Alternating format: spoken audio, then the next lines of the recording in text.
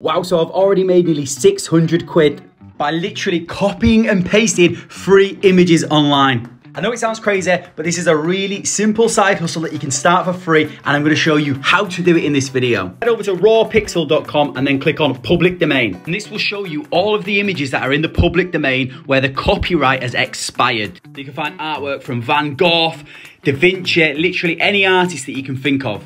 So just choose some of these images and then download them for free.